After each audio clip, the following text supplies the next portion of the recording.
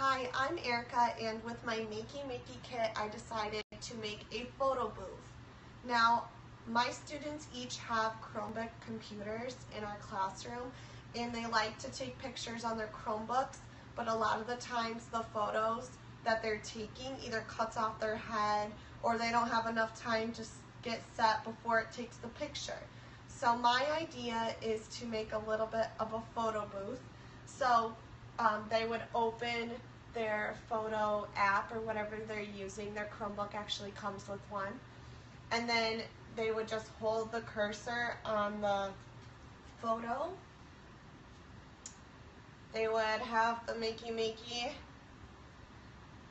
and I just put a piece of tinfoil to use for my like plunger or clickers to take the photo so they can be further away or they can even be doing something and it can show their work. So I'll show you how it works.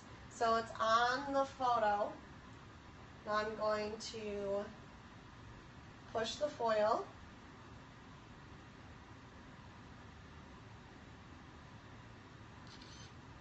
And it takes the picture. I think this will be useful in my classroom um, so students can be further away from their webcam when they're taking photos of their work or of themselves or whatever they're working on. Um, and it'll make things easier. I'm still working on what I should use for the plunger. I don't know if I want to stick with the aluminum foil, but we'll see what happens.